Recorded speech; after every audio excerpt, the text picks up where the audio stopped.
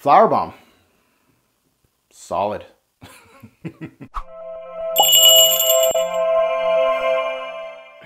Hey YouTube fragrance family, welcome to another episode of Sampling Samples. Today I'm going to be sampling from the house of Viktor and Rolf, um, a 2005 release and a woman's fragrance called Flowerbomb. If you haven't checked out my initial impression on this particular fragrance, you can check out the video right here.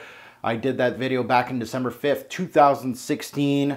Um, I totally depleted the sample. I wore it, my wife wore it, and I'm here to tell you guys what I think, what my what is my final verdict on Flowerbomb.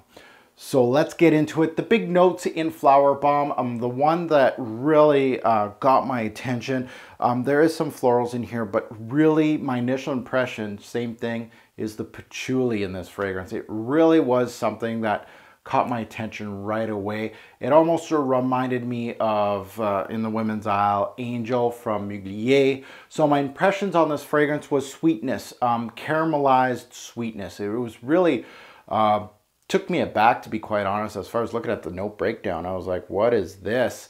Uh, very smooth. Um, it was actually very well balanced in my opinion. Uh, the blend's very, very good.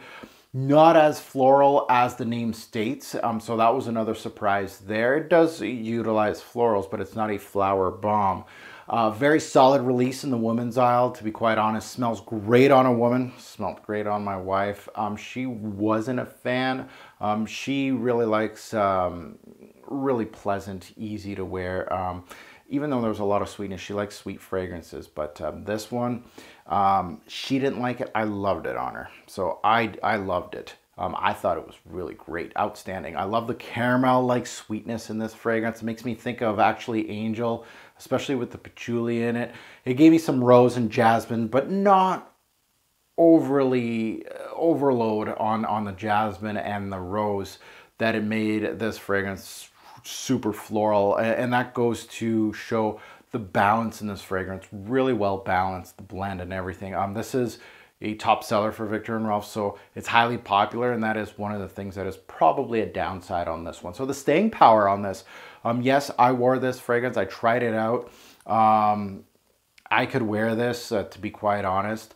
Uh, staying power was very good. I was getting six to eight hours with this one, so very good, well worth your money heavy projection too. So this one um, does last. The good things about this fragrance, I'm very much a, a great blend, well balanced, and I would say unisex even. So some really good things here. Uh, the use of patchouli was well, well done.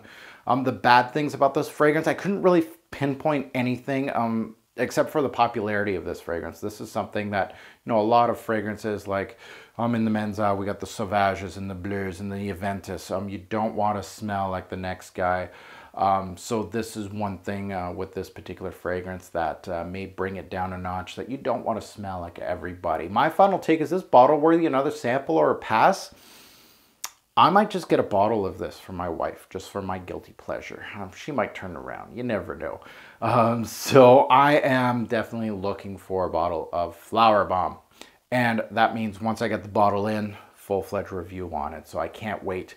That goes to a star rating, one being uh, atrocious, terrible fragrance, and five being uh, bottle worthy or um, really something that I'm jumping up and down and saying, I gotta get this. Um, this is a four star, which I don't give out like cookies. So four star fragrance. I really like uh, the blend, the balance, projection longevity, all outstanding.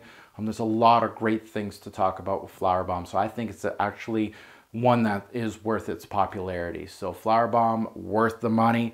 And that goes to, of course, all of you out there that are watching this video. Uh, please comment below if you own Flowerbomb or um, your wife or girlfriend or the ladies out there. I'd love to hear from you. I want to see if I have more than three subscribers in the women's aisle here. You guys, comment below. I want to hear from you. Even though if you don't like Flowerbomb, comment below. Say say say your piece or you haven't smelt it. I just want to see if I got more than three to five uh, subscribers on the women's side. So thank you for watching. Have a good one.